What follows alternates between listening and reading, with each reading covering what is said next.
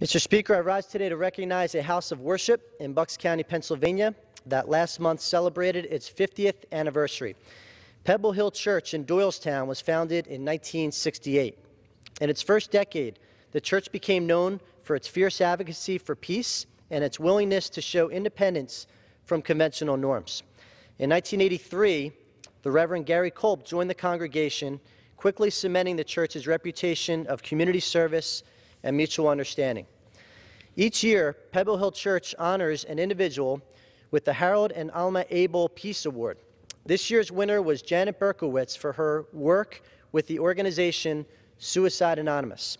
September, Mr. Speaker, is Suicide Prevention Month, and I commend Pebble Hill for recognizing Janet and for her work in shining a light on the plight of mental illness. I applaud the entire Pebble Hill Church family for their sustained commitment to making our world brighter and more peaceful. And I wish current celebration coordinator, the Reverend Larry Hall, and all dedicated members of the staff, volunteers, and worshipers continued success for years to come.